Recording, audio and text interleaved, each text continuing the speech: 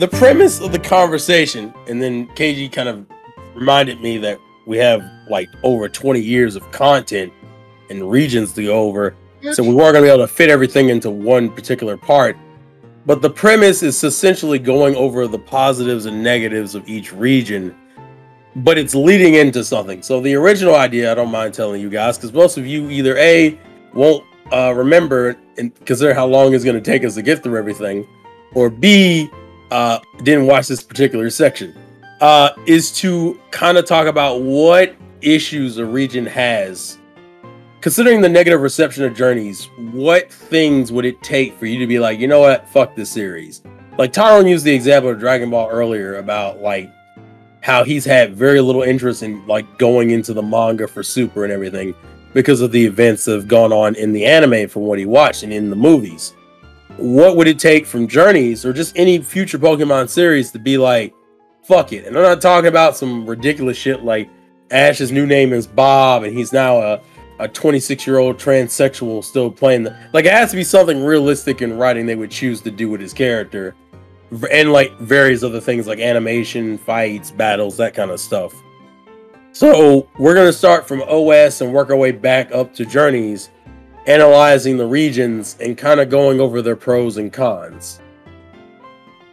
And we're going to try to keep it to like writing based things. So not in, like for example when we get to DP, I don't I don't think we're gonna try to overly rely on filler as the only writing problem in fucking DP because filler, although is a problem in DP, it's an easy thing to point at and go, yeah, that's the problem with this with DP because that's implying if you took the filler out, the DP would be perfect. I don't think any of us give any region in this series a 10 out of 10. I'm trying to get to what what what is the thing that stops it from being 10 out of 10. And I know Tyrone's brought this up before about how, by Pokemon standards, is how we rate it. But by like normal writing standards, a lot of this would be ass. I kind of want to get to the normal writing standards and why these series have the problems they do. But we're obviously going to still talk about the good points too. So tonight's focus will be, I believe, we're doing OS through Johto. Yeah. So the uh, so basically the the Kanto series, Orange Islands, and Johto. Alrighty yeah. then. So, what do you guys say? Shall we get into it?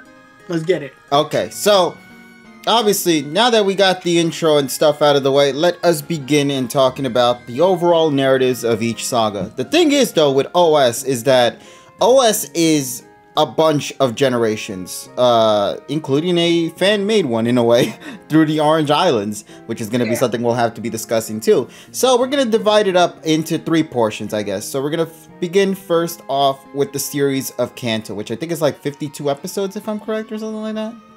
Before we so. then move on into the uh, the Orange Islands. So, uh, Terrell, since you were the one who initiated this conversation, we shall pass this question on to you and ask you the following thing. Uh, what do you view as the pros of OS and what it has established? 57 kg, not 52. Okay, uh, 57 episodes. Uh, mm-hmm. But yeah, so the question still remains though. What do you see in OS as a positive in regards to its storytelling from the anime series? I think OS is probably the most unhinged gen- uh, generation because it doesn't have a standard. It was ironically enough, working on creating its standard for how it would make episodes and how they would follow. And its very chaotic nature. It's weird because I view it as a pro and a con, but for the sake of it being a pro, I'll talk about it as a pro. It kept OS from never being too boring. OS, it's weird because OS is a way it's formulaic, but OS's best writing strength is the fact that it's very chaotic and kind of says, we're gonna do the weirdest shit we can possibly do. In one episode, we'll have Ash cross-dressed to get into a gym battle. Another episode, he'll he'll just be dead. Another episode, we'll have an episode that just focuses on the Pokemon getting back. And even by today's standards, that episode is still insanely unique because it's the only episode that I believe gives subtitles for the Pokemon. Mm. And it's a blueprint that I think every other region uses at some point. Like mm. OS is the blueprint. So I think the its chaotic nature led to it creating a standard that every region would use moving forward. I think the best thing it has going for it is its writing dynamic between Brock, Ash, and Misty. And we're not talking about specifically development, but more so their like character flow and how they bounce off of each other and respond to each other.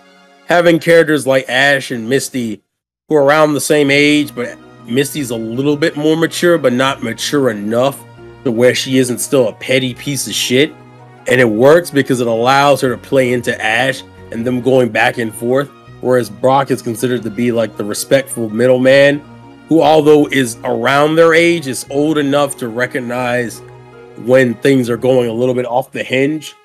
And giving Brock his own little immature side and his obsession with women is very it it keeps it keeps their dynamic balanced. Nobody's ever too serious, too much, and it creates for fun and interesting dialogue. Um, it also is probably the most loose when it comes to game mechanics in terms of correlating them. That's why I think that like a lot of Ash's gym battles in region in in OS is meant to be focused in terms of they're meant to be more entertaining than like like stimulating. Mm-hmm. because that's why most of them are either like gags or have some sort of comedic element to them with a few exceptions being like i think uh, lieutenant Surge's and maybe like even team rockets. Like because it still wanted to tell a story. It still wanted to, to tell ash's come up and still have him rise but it it does it in a way that you're you're never bored i guess is the best way to describe it um and I, I, don't know, something about the old '90s art style just appeals to me. But that's more of an animation aesthetic. So I'll, I'll kind of I'll leave it at that because you guys also have your own reasons, and I don't want to do that thing where we come up with all the reasons three times. Not yeah. story. Orion Sword, chill out. I already see you in the chat. You could be a fucking problem. Yeah. But go. Yeah. Uh. Uh. Tyrone, you can go next. Um. To not like repeat a lot of the points that Terrell said, the interaction is good, but I want to say, uh, just for OG, and I know this is going to be technically not really Japan's thing. I mean, Japan did its part too, but I didn't live in Japan at the time, or I never grew up in Japan. I don't know their half. But I can say here in America, as a American watcher of the show and being introduced to it, uh, the marketing. This was during the 90s where you could basically, you could tell companies to sell a brick and they'll sell the fuck out of that brick. Like the 90s really took Pokemon and ran with it. They freaking ran with it. I'm not even talking about the episodes at this point. I'm talking about like the the marketing and how they advertise Pokemon. This wasn't just something that just had like nowadays when a new anime shows up on like Crunchyroll or something, they do like one little trailer and that's about all you really get. Pokemon, like, goddamn, when it hit, it hit. I'm talking Pikachu's jukeboxes for originally made songs that were made by actual musicians and artists. I'm talking, uh, I'm talking, uh, toys on top of toys. I'm talking, uh, selling Pokemon cards only for Topps to make new Pokemon cards and sell those for advertisement purposes. I'm talking about, um, selling a Pikachu, uh, Nintendo 64 and then having like this cheesy commercial where his dog is like, ah, I've been neglected ever since Bobby picked up a Pikachu, shit like that, where they were extremely corny, but at the same time, you couldn't get mad at it. When Pokemon the first movie dropped, I swear, I can't even tell you how many commercials blew up on different stations just telling you to watch the movie. Fucking Burger King tell, uh, selling four toys. Four. They sold four. This was one of the few times where they sold four toys. They sold the Pokeball, the golden card that's inside the Pokeball, the plastic Pokeball, and then the toy that's inside the goddamn plastic Pokeball. That's four toys. And also with the Topps cards that came with the toys. That's five toys in a kid's meal. Holy fucking shit. Now the the Pokeball with the golden card in it, that was a limited edition. You gotta order it thing, but still, like, God, the marketing made sure if you didn't like Pokemon, you at least fucking respected it. Um, the cheesy commercials, like, I know the one with the they're singing like Jingle Bells, but the characters are singing it, and like Lapras freezes Ash, and Gary's like laughing at him and shit. Or when Ash throws a Pokeball, but they edit it out so it's like a snowball instead, and it hits the screen as like Pokemon Christmas Marathon, and then it shows like all the winter-based episodes that happened. they really wanted to push this home that you this is what you want to watch. And honestly, I was here for all of it. So I would I would chalk it up to that and just the comedy of it. And I didn't know if you guys wanted me to get too far into the comedy of Pokemon or did you want to save that for one of you guys to talk about? I think for you being the comedy meister, you probably should be the mm. one to talk about it the most. Well, Terrell actually talked about this earlier. Uh, the dub was responsible for a huge chunk of that comedy, but the dub really works with what it was given. So I will say that the in Japanese they obviously had to animate Ash and the others doing these things, so they took that.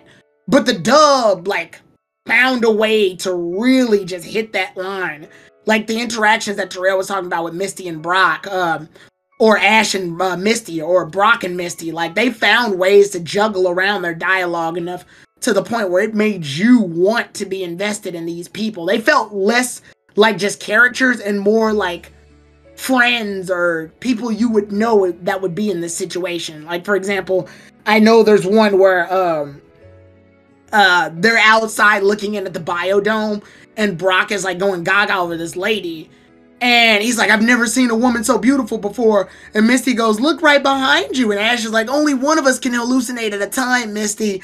Like that dynamic alone, you remember that because of how they are. And I've even praised uh, the Ghost of Maiden's Peak episode, just some throwaway filler episode that typically means nothing, to be the funniest episode in Pokemon. To like one of the funniest episodes in Pokemon to date. And it also hits home in the emotional aspect. Like, when when they do the sad stuff or the very intense stuff because you got the chance to laugh with these characters already. So when you get to an episode where Ash almost fucking dies in the snow and all his Pokemon are hugging him, you feel that because you were there through the good and the bad. Like honestly emotionally to this day I still think this is the hardest like hitting series emotion when it comes to like raw emotions uh, that's not to say other series don't do emotions well. Other series have tackled emotions very well when they need to. But OG feels like it can hit whatever emotion it needs to at the time and it never feels uncomfortable or it never feels like it has to be oh like this is has this is the sad episode. Don't worry guys, you're gonna get sad, trust me. Whenever a sad thing happens, it it always felt like it came with the moment. And it also is equated to the time period in which it took where uh like Lord Michael says, it it held no punches. It um it could afford to do the crazy stuff. Like for example, obviously we got some there's some episodes that kind of cross the line in America, like for example the the beach one where James makes his fucking fake titties blow up. Obviously that couldn't be in America. James but, is a bad bitch, man. But there's other episodes that still wind up crossing that line. Like when Misty, uh, well, not when Misty, when James, Brock, and Meowth almost drown, so when they finally reach the surface and like they they end up breathing, Pikachu snaps like, "Damn, they didn't die." I'm pretty sure that episode can't exist anymore. Like I'm pretty sure and Brock even as he is, like a lot of people loved Brock's like silly little aha, he's he's going gaga over all these women. Nowadays that would obviously be labeled as harassment like Brock would literally be like the subjugation of harassment. And then another part of the community would tackle that and be like, you're only going after Brock because he's horny and uh, he's not of white descent or some shit. They'll say something stupid, and then Twitter will have a whole argument about it. Like, thank God OG didn't happen during Twitter. Let's just say that.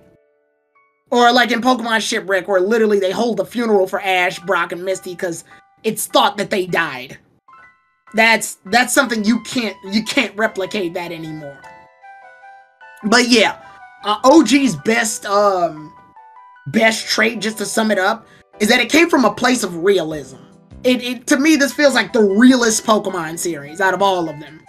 It comes from the realism of the moment. That does translate to some weird shit later that we'll get into, but for now, this is this feels like the most real Pokemon can get So yeah.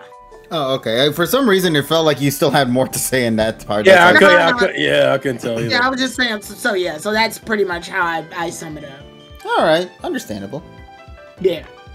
Okay, so uh. But uh, KG, go ahead. yeah. So for me personally, OS, uh, specifically with Kanto, I 100% agree with Tyrone and Terrell with their uh, statements that they brought up earlier. You know, promotion is such a key thing for giving us the ability to go and, you know, become a part of it. You don't want to be you don't want to be missing out on what they're promoting to be the biggest thing of that generation, you know. And uh, uh, from all the merchandise to the movies to the cards, oh my god, the cards back in the day, bro. I think that was when everybody started to really start getting into the whole um, you know, like I got something special for you, stranger, and then he pulls out his jacket and his bunch of Pokemon cards in there from like kindergarten Oh, days. God, yeah, that. Th- those were the good days. But um, to me, uh, with the anime specifically, I adore the characters in this series, bro. And it, it also has to correlate with the dub. I know I've seen the original series, I've seen some of the jokes that are different from what was initially made to what we got here in the West. Uh, obviously, for example, there was like that uh, joke about tea or something, and then they converted it to like uh, grape juice or, or coffee or yeah, something. yeah, like- yeah, yeah. A lot of the jokes don't translate well sometimes. yeah, or they just straight up edit it to have that image, you know. Uh, so, but still, regardless, like they do it because they want to make sure that these jokes hit, and they do. And I agree with Tyrone 100%. These are jokes that will not pass in this time. We are Mhm. now in this era where things are a little bit more tighter than ever before. So, a lot of jokes, specifically with the Pokemon anime and, and the franchise as a whole, and how big it's gotten. Uh, the liberties that they've had before is now super restrictive. Pokemon is going to make sure you follow uh, their routine and not go out of bounds in that part. So, yeah, the OS series, if I had to give it a praise, it's the characters and the writing, specifically with the dub. It is honestly my favorite uh, when it comes to the comedy and the dub side of things because they really took a lot of chances, a lot of uh, risks, and, and included with that. Uh, and that carried on from OS and even into a little bit of Orange Islands. I think it's Johto when it started to slowly go down a little bit. Uh, but it still carried on throughout the years, and I appreciate it for it. In fact, you know, uh, I'm pretty confident I could say this that there are a lot of jokes I probably missed that I didn't get at first when I was young that I'll probably laugh out loud if I watch it now again in this. Too bad time. I can quote them. Like even the one where I could say this whole skit, and I know for fact this would never last. Uh, it's the one where it's School of Hard Knocks, where the boy shows the picture of the of the last the the the the girl who is top scorer in the school, and uh, and Misty goes, "It's a woman," and Brock goes, "She sure is," and Ash goes, "She can violate my rights." That joke has no chance in this timeline. No, not one single bit. Yeah, just fail. Or or like when Misty goes, wait a minute, if you don't like the way she treats you, then why do you let her? Uh, why do you have a picture of her? I hate the way she treats me, but I like the way she looks. Not like other girls that treat you bad and look good, uh, look bad too. And Misty punches them. That shit was so disrespectful. That joke has no chance. Not a chance. It's misogynistic. It's sexist. It's it, it has so many like red flags around it. It it would die before it even showed but, up on. but here's the question, Tyrone. Is it funny? Oh, it's fucking hilarious. Yes. It's fucking hilarious. It's hilarious as hell. But the censor culture we've been in, and KG, I'm gonna go back to you. Sorry, I'm, I'm sorry for taking your Oh no no no no! I, I finished pretty much what I had Yeah. to say, so don't But worry. it's this censorship culture that we're in that that prohibits these type of, uh, of things from happening. So when you, you when you look at it through that lens, you appreciate it in the moment, especially now because you know that these jokes could never happen. But yeah, that's that. From that that the whole thing and the, the fact that I was able to quote it means that I valued it enough to the point where I felt like it was it was a good joke. But obviously, the general public isn't going to think that. Not nowadays. No, uh, hundred percent though. Like, yeah, Yeah. a lot of jokes back then will not relate now. I- I- it's just impossible.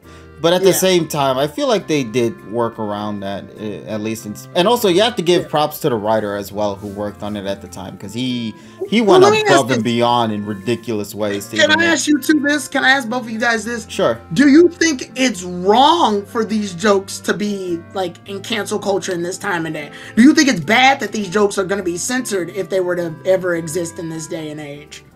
Do you think comedy should be silenced for the sake of time period? I think it's more so comedy has changed over years, so comedy from back then uh will evolve as well, and therefore the comedy of Okay. now will. All right, well, let me- different from Let me comedy of let me Go ahead, go ahead, Terrell. let me counter that question with another question. hmm Do you just like these old jokes would be considered problematic because of its sexism and homophobia and all that other stuff? Do you think those old Bugs Bunny cartoons that keep people in blackface? Do you think those uh, deserve to be pretty much wiped from the world and, and never shown again? For the Just sake because- of his, for the sake of history, I don't think they need to be wiped from the world. But for those, I obviously see why like they would trigger some people. And the older it gets, I think the the worse it gets. I think there does need to be boundaries. I think there also needs to be like I think they do disclosures like on Disney Plus and shit like that where they do Yeah, they do. Yeah, they do disclosures, but I don't think they need to be wiped. Every like jokes yeah, explained. There we go. Not wiped, but explained. And like like when you do that to a joke, you're and erase it. You're pretty much like you're entertaining the idea that if something isn't right or appeals to a specific person based on standard, then it needs to not exist, and that's wrong because if comedy was based on what other people like and dislike, there would be no comedy. Period. Because comedy's not meant to appeal to everybody. It's subjective. The reason why I use the, the cartoons, for example, for those in the chat wondering, is because the cartoons still have general physical and like comedic humor Mm, besides the character looking a certain way. yeah. So it's not like the comedy's all racially motivated. Mm. Most of the comedy is, is based around like there's there's one where they do the Elmer Fudd thing, but they don't use Elmer Fudd, they use a blackface guy. Right. But it's it's still the same gags of him being tricked, of Bugs dressing in a woman outfit or Mm, doing that thing where you climb through the wall, you run at the other end, and then you spin it. So he's like Mhm. in a constant loop and shit. mhm. It's, it's that concept. All those are physical gags. Those gags are still funny. The problem with the cartoon has nothing to do with the physical gags of the show. It's just the visual of that one character or two characters looking offensive, and maybe like one or two couples offensive jokes. I know KG brought this up one time, but it also leads to uh, what I call confused uh, representation. People like characters like uh, Speedy Gonzalez, but because the West believes that Speedy Gonzalez is offensive to uh, Mexican culture, they tried to wipe him out. But the moment they did that, Mex- uh, a lot of people uh, of Mexican descent or Spanish descent, they got mad at him for being censored out because it's like, no, we want representation. Well, he's misrepresenting you all. No, the people that are representing that spot say no, don't take him out because we want him to represent us. But he's offensive to y'all. You can't tell us that he's offensive to us because we're not offended. You see the problem? yes. Yeah, like they want representation, but they hate representation. They want a certain type of representation, Representation, exactly. and they assume that's what you want. Right, exactly. So it's like I'm just trying to give you what you want, Tyrone. You don't like it, But it's not what I wanted. I said what I wanted. but what you want is offensive. it's offensive. But Right, it's Tyrone? not. But it really no, no, is. no, no, no, no, no. The thing is, but Tyrone, it's offensive, right? Right. Nah, nah, yeah, sure, buddy. Mhm. So we, so we can, we can remove it then, right? Right. I wasn't a proper fan enough, and the weird kid. Oh, okay. They're just. I was reading the chat. Sorry, but uh, yeah. Uh, too many white people believe Speedy Gonzalez is racist, but they don't know what Mexico wants. Yeah, pretty much.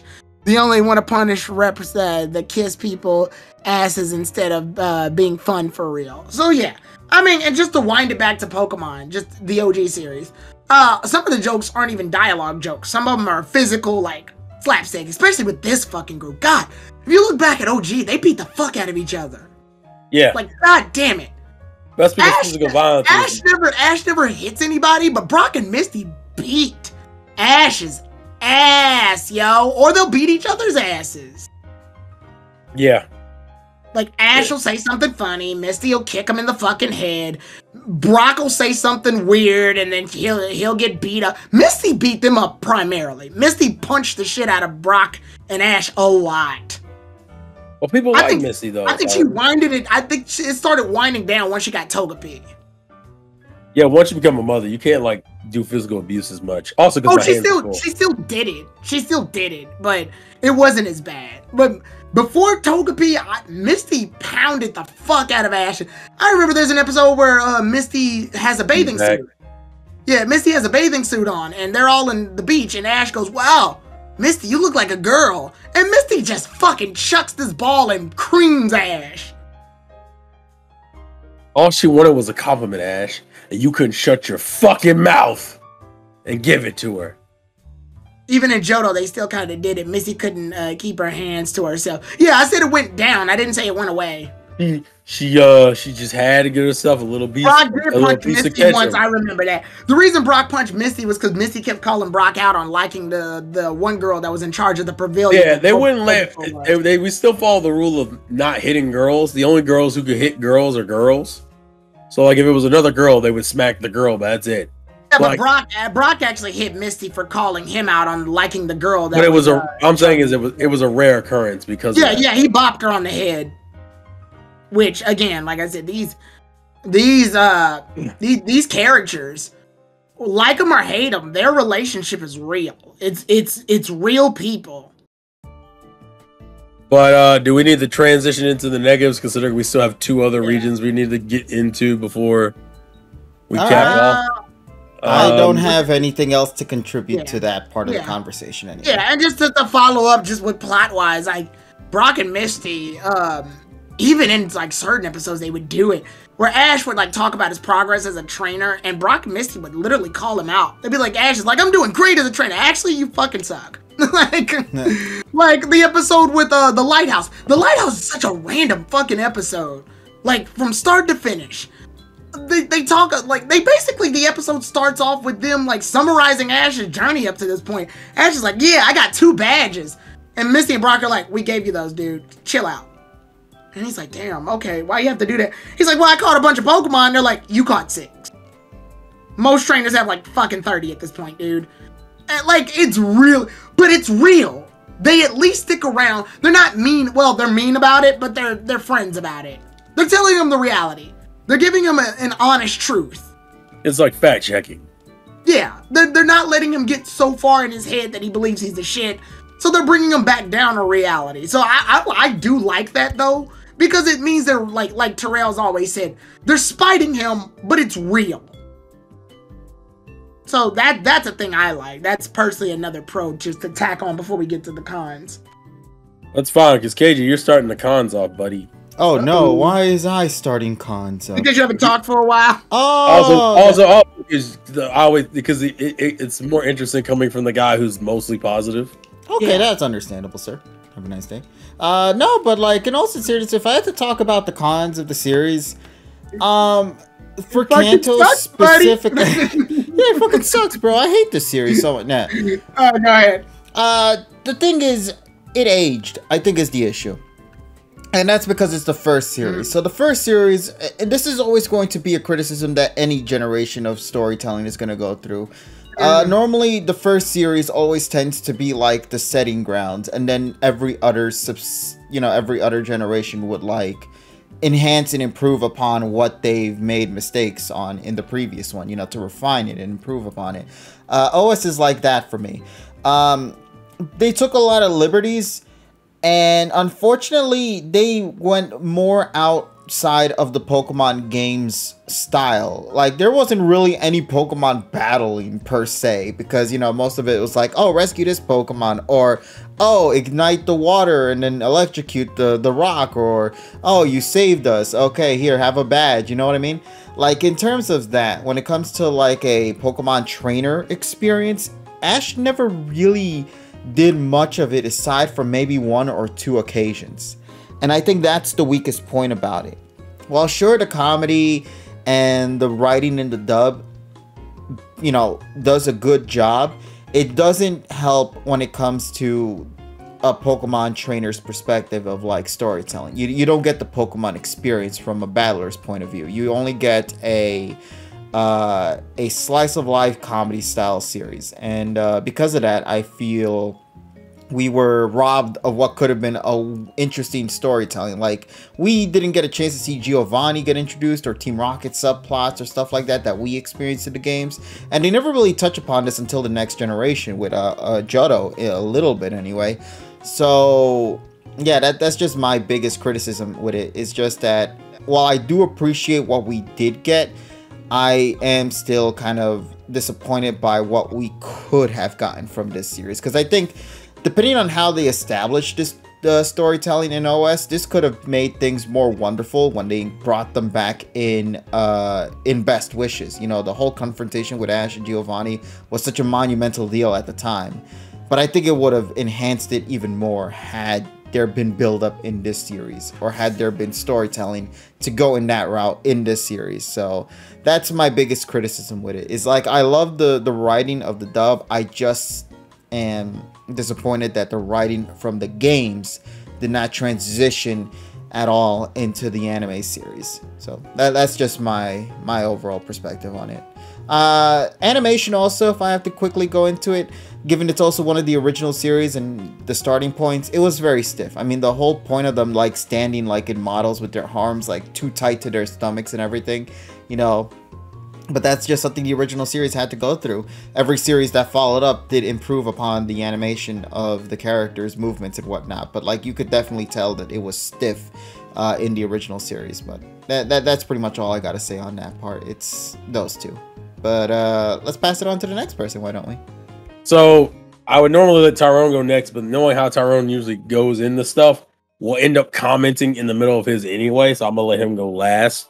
Okay. Uh, if we're gonna, I'm not, I'm not gonna bring up every issue because I know Tyrone has his own issues. The two things I'll focus on when it comes to uh, OS's issues is the first problem is it goes back to the chaotic thing I mentioned.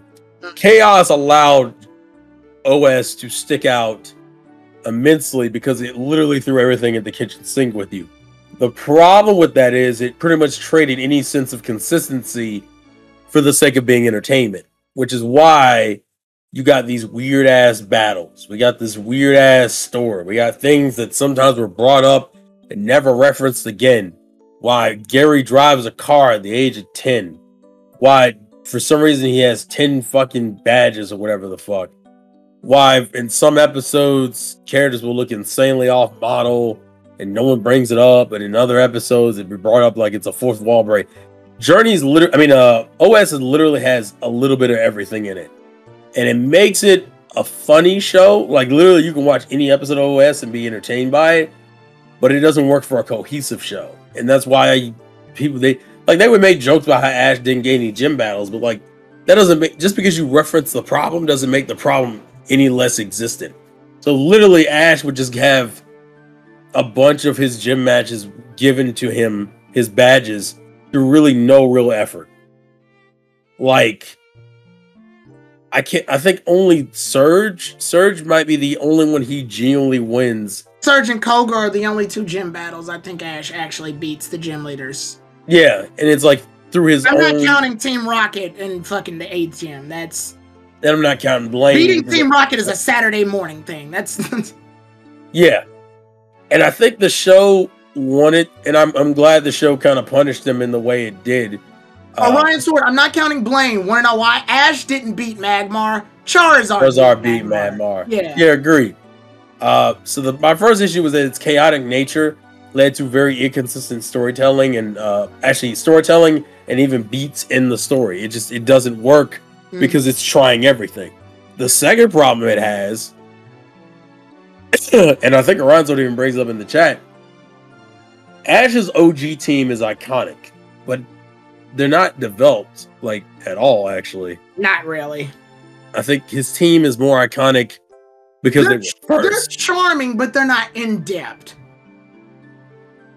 Exactly. And it's mainly they mainly get the they mainly get a lot of praise and passes because they're first, not because they're because like when you go back and look at it, none of those mods really get a lot of extra episodes outside of their like introduction and then being used in fights or Team Rocket situations.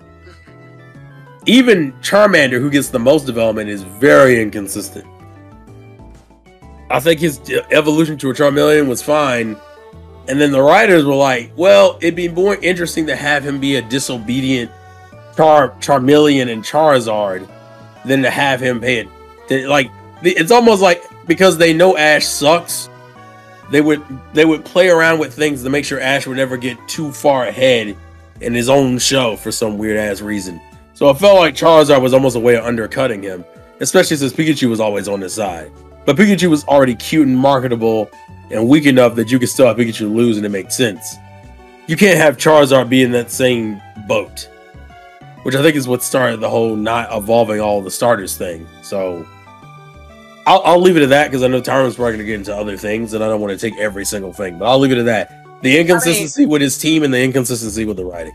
I will say what you said actually uh, weaves perfectly into what I was going to say is the characters. While I love the way they interact, development wise, they are stale. They are stale. When they're in the area talking to each other, perfect. When they're in the scene, it's great.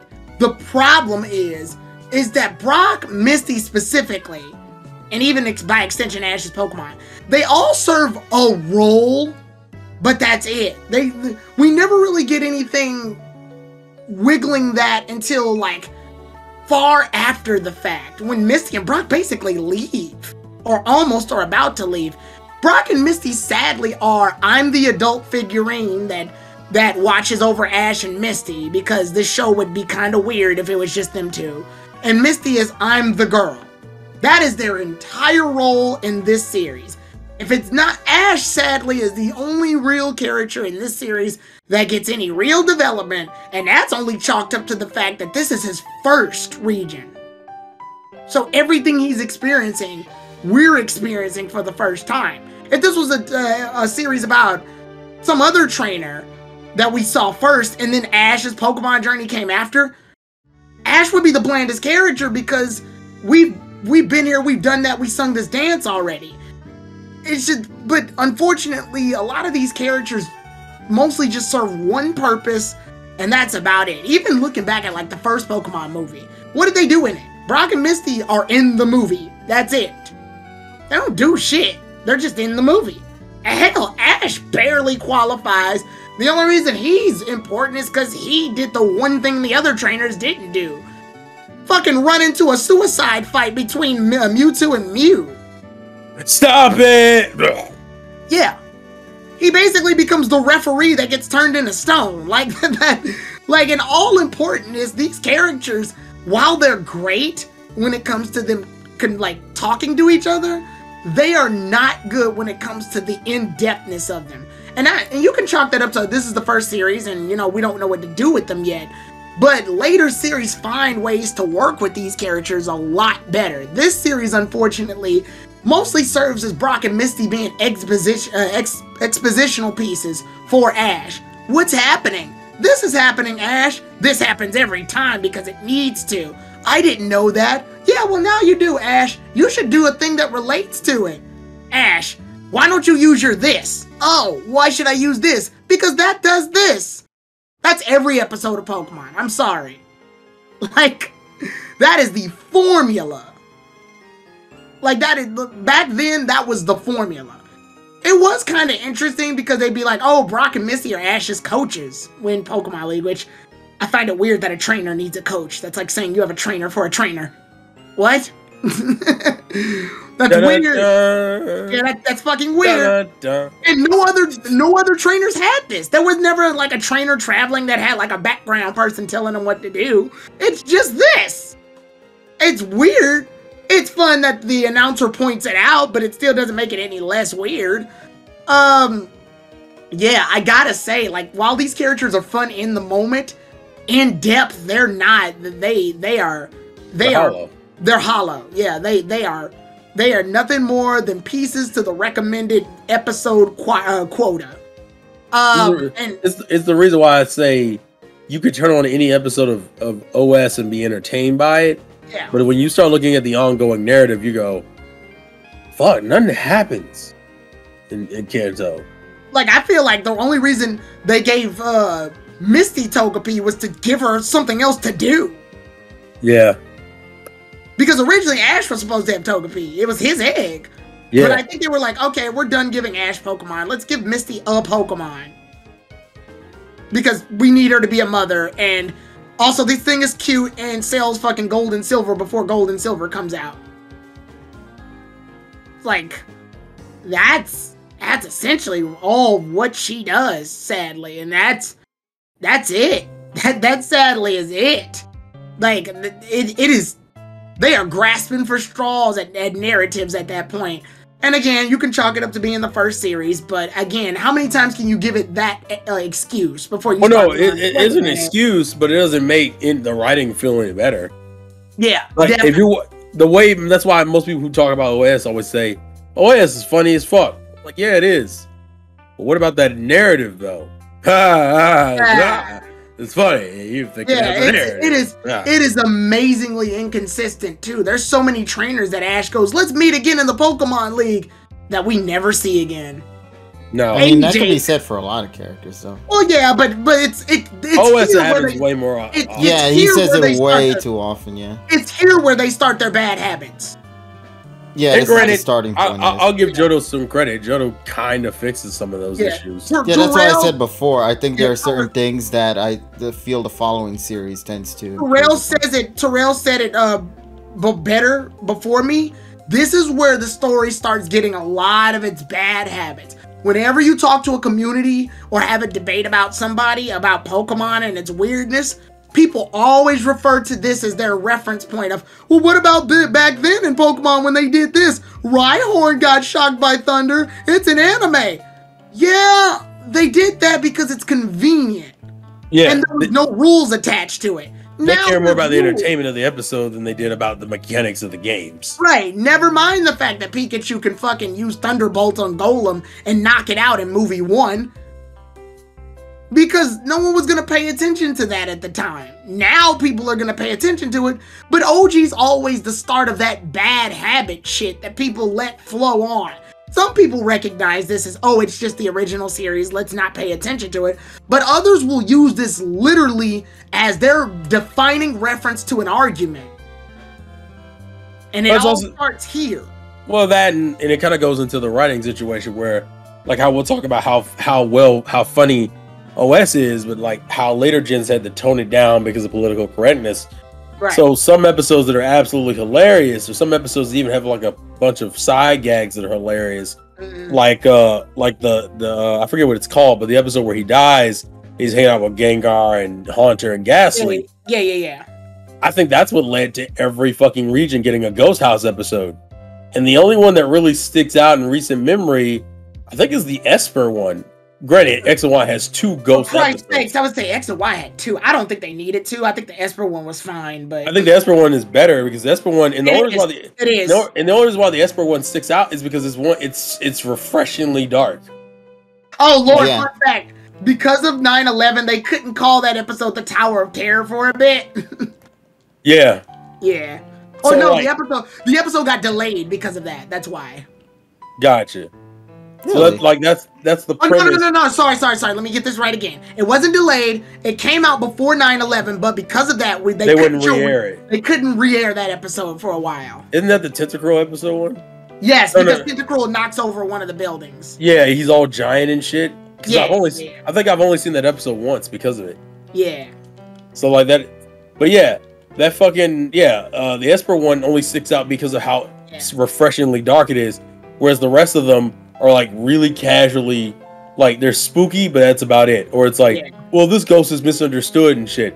It was like, well, I misunderstood, but you know, the lady's dead, and you're like, oh, Oh, oh, and they do it in a. Uh-huh. I'll give X and Y credit. It does it in a subtle way that, that makes it stick out yeah. because of its darkness. That's and that kind of goes into Tyrone's whole bad habits thing. There are a lot of episode tropes that, that you get from OS But the problem is the direction they go with them in oh, in like later series is like lighter and lighter as it goes on. Yeah. So, I even another. Oh, go ahead. well, I, I'll use well, I was going to use the other example of uh the the Pokemon getting separated from their trainers. That's used in every region. I think every region does that. But I think OS is the only region that give them like subtitles that you understand what they're saying. Yeah. And like they have the Ekans and Koffing. I say this stands out only because Ekans and Koffings go into the philosophy of how Pokemon do things based on their trainers. Ekans and Koffing say this phrase, we're not bad. Jessie and James are bad. We just follow whatever they say. I mean, obviously, the, they get a little bit more in depth. I'm saying an abridged version, but But it's, they it's, it's- say it's- the only reason we do shit is because our trainers are bad. Well, that and to me that's interesting versus like later regions that would do shit like, well, I'm just lost. Oh, well, we'll have one Pokemon be the one that doesn't give a fuck about getting back reunited and intentionally fucks up a situation. For Gen 5 be Oshawott, Chespin, fucking uh Buneary is kind of like that in Gen 4 because it's only concerned about Pikachu. Yeah. And the episodes usually just revolve around them getting separated. Even the episodes where the crew themselves get separated in the groups. You know, the episodes where like Ash ends up with James and Brock ends up with Jessie and Mate. Well, actually, no. Jessie usually ends up with the girl of that region. They always do that part. And Brock gets stuck with like Meowth or some shit. Or they'll flip it where Brock is with James and Ash is with Meowth. That's a running thing from Gen 1. Gen 1 starts that trope and then they continue it. It happens in Hoenn. It happens in Diamond Pearl. Hell, even happened in Journeys. I think it's with the Durant episode. The Durant episode is what does it. Because I remember because I complained about how poorly used the Durant and Heatran uh uh duo or rivalry. Uh a lot of Pokemon's main gimmicks come from OS. And they get worse and worse because of the restrictions in writing in terms of how they want to portray these things. But I don't want to go too like we've I've gone too far off on that tangent. I guess I Um, can go into another con than that I had. Go And ahead. this obviously, you know that I'm gonna have this con just based on what my favorite series is in Pokemon. Um, the battles, OG's battles. This ain't the place. This ain't it. This ain't it. If you're looking for Pokemon battles, this is not it. A Pokemon battle in OG can pretty much consist of whatever's the funniest thing that happened to a Pokemon, or the most nonsensical thing that can happen just so long as it happened. Uh, I remember uh, Ash lost a fight technically. He didn't lose the fight because it never got to finish, but he's losing the fight to Erika.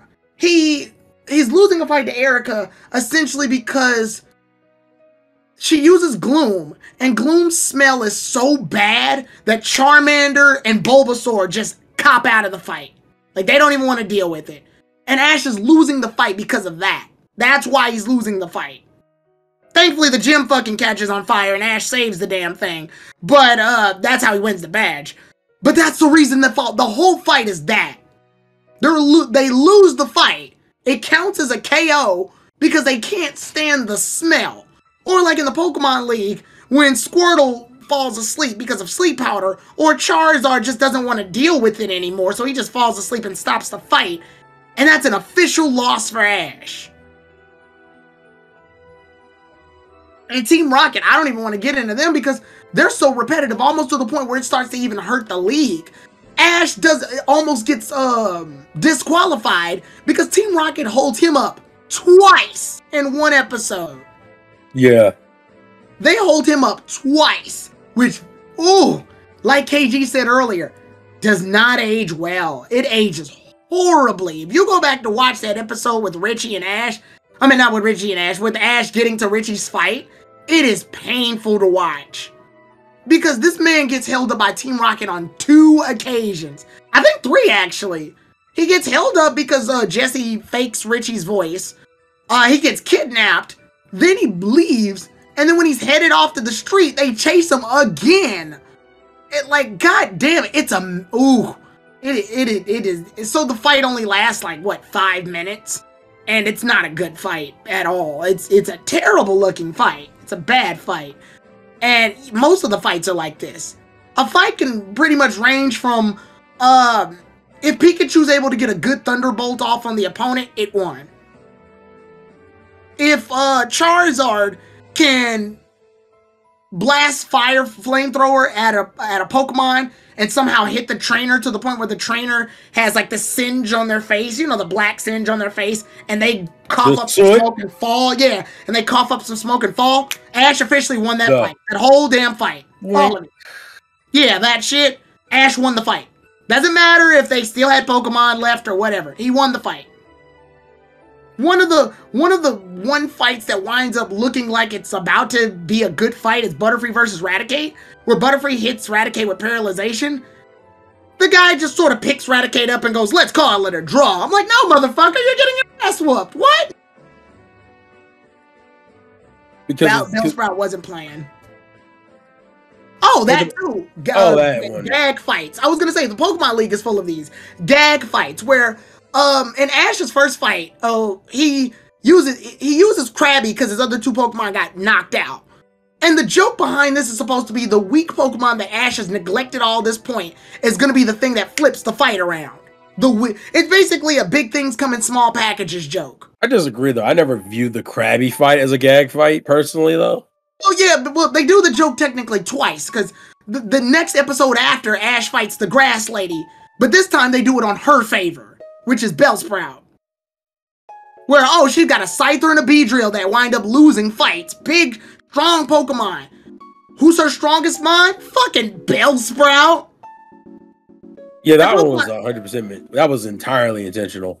Well, because it's weird. Because the- the idea is supposed to be that it's weird. It's supposed to be like, oh, you can use any Pokemon for any situation just so long as you know how it works. Which is fine. It's creative as fuck and it's funny. But it doesn't make for a serious fight because now you've got Bulbasaur beating the shit out of Pikachu and uh now you got Bellsprout beating the shit out of Bulbasaur and Pikachu. And then you had like legit fights, like the I forget the second person, the one that has the Arcanine and the Cloyster and shit, and literally all fucking he goes Crab Hammer Cloyster, and he's like, I forget, I don't know if it's Iron Defense, but he's like Harden or some shit, and he's like, Withdraw. keep on, Withdraw. and he's like, oh yeah, withdraw, and he's like, keep on hammer, he's like, cookie, cookie, cookie, cookie, and all of a sudden you hear the crack, and his motherfucker goes, oh, like he fucking Yeah. lost. And- I mean, and, yeah, and once the crack happens, which what was the strategy going to be outside of that? Nothing. It was um, I'm, I'm beat it till I meet it. No, I'm talking. I'm talking about the other trainer. Was your plan just to stay in the shell the whole time? What, like, what, what, what, what what's going on here? That's that's episode two or three, Ash. That's what that is. That was the Right. hard. That was the great Harden battle without the other agreement. Yeah, that that too. But obviously, that's the joke. It's a gag fight. Like all of most of these are just gag fights, which is funny. It's it's definitely something you have to erase your brain about. Um, but if you want to, if you want battles, which this series is weirdly hyping up, this ain't it.